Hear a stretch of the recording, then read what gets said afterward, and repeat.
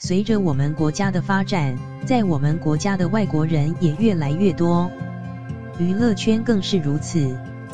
不少明星都走上了国际舞台，有的也加入了外国国际，有的和外国人谈恋爱，其中有修成正果，也有没能走到最后的。阿娇，阿娇早些年有过一个外籍男友，名字叫全明。但是两人的关系只维持了短短的十个月就结束了。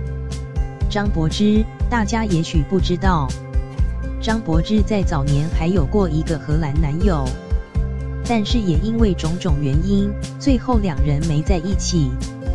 章子怡，章子怡现在和汪峰在一起，但在这之前，章子怡和这位以色列的富豪还有一段恋情。曾经还被狗仔拍到了两人在沙滩上亲密的照片。据说两人当初感情很好，都快要结婚了，最后却不知道什么原因，还是分手了。不过章子怡现在也有了自己的家庭，也希望她好好生活。宁静，宁静在早期拍戏的时候结识了一位美国演员。两人交往过一段时间之后就结婚生子了，但是这段婚姻也没能维持到最后，两人也最终离婚分手。宁静表示自己是中国人，对方是美国人，两人是文化差异实在太大，难以相处。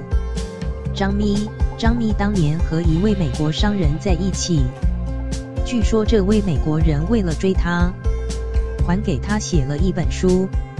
但是两人还是没能走到最后，只能以分手结束。章子怡，一九七九年二月九日生于中国北京，中国大陆女演员和制片人。章子怡从小学习舞蹈，后考入中央戏剧学院戏剧表演系。在学期间，因主演张艺谋的电影《我的父亲母亲》，一九九九年成名。之后因参演《卧虎藏龙》二零零零年而扬名世界。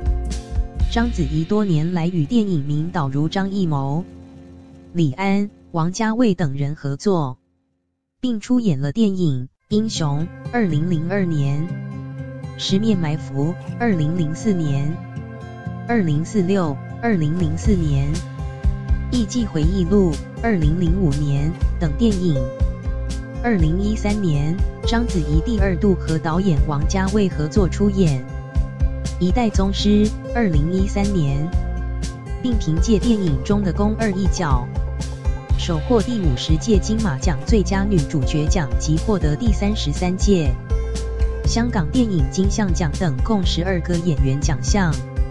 章子怡也是史上唯一获得华语电影主要奖项香港电影金像奖。